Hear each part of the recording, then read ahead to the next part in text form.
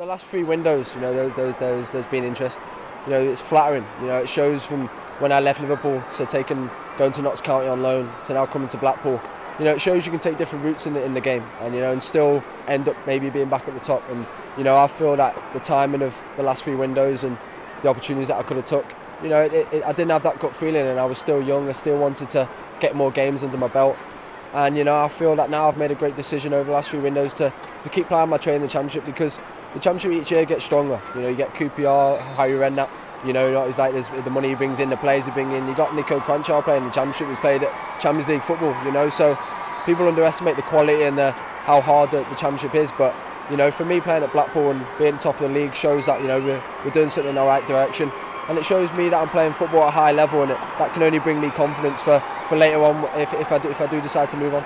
I agree with you completely on the, on the, on the quality of the, the Tottenham Championship. How difficult and how seriously did you have to consider bids from sort of you know, Tottenham and those sort of sides? Yeah, massive. You know, listen, Tottenham's an unbelievable club. You know, like you've got the selling people like Gareth Bale for world record fees to Real Madrid, Real Madrid bringing in Roberto Soldado and Paulinho, Brazilian internationals. You know, so they're players who, who are playing on the world stage and you know, for me, a young player, you know, would I have gone to Tottenham and, and got some first team?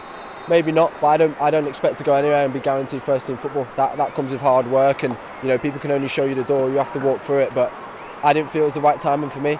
You know, I just come back from injury. Uh, my family are based in the northwest.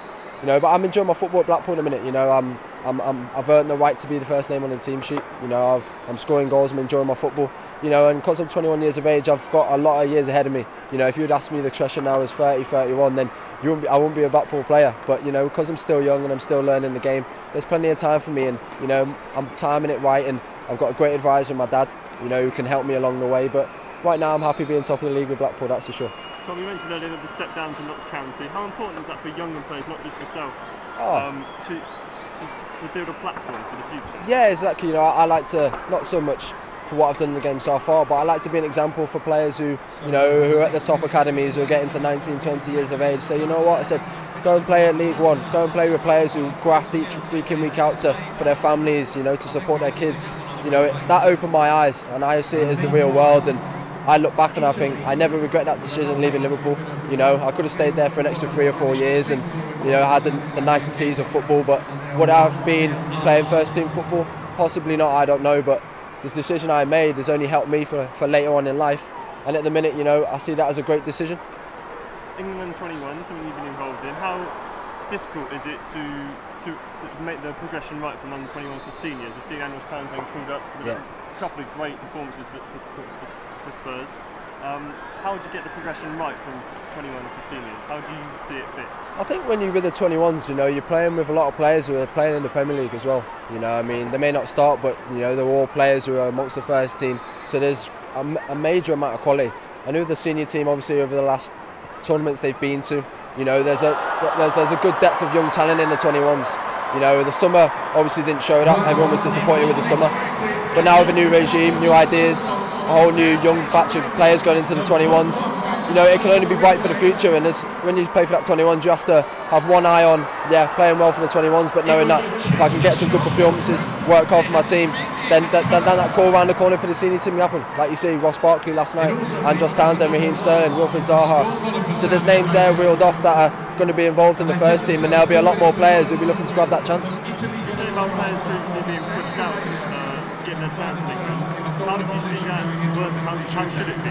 What, what's, what's going wrong? Exciting stuff. I think it's hard, you know, when you get the, t- the top five, six teams and the pressure they're on to win games. You know, it's very hard to you know throw in the youngsters, you know, the young, the young English players.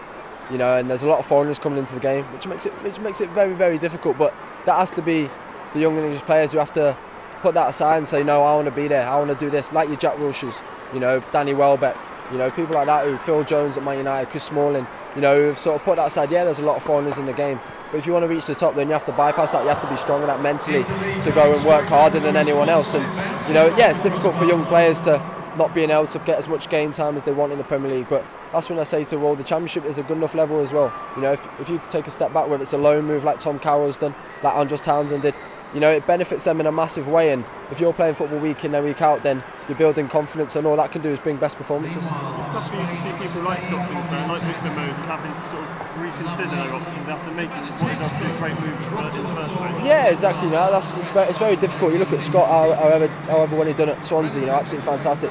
Victor Moses at Wigan, you know, after that season when he went down, he was absolutely tremendous, and rightly so. He got his move to Chelsea. Obviously, after there, he played a little bit more, and now Mourinho, he's gone to Liverpool. You know, for Victor, he's made a great move to Liverpool. You know, as Brendan. Again, Scott Sinclair had to take a step away. It's a shame because they're bright players, but aren't given the chance to go and do it. You know, maybe they may get 15, 20 minutes here, or you know, one game in the Europa League or in the Cup game But players like that need to be playing week in, week out and developing because they're still young lads, you know, and what they've got is a tremendous amount of talent and I'm definitely sure, you know, with the clubs they're at now and the, the, the game time they'll get, I'm sure they'll be back in the England fold.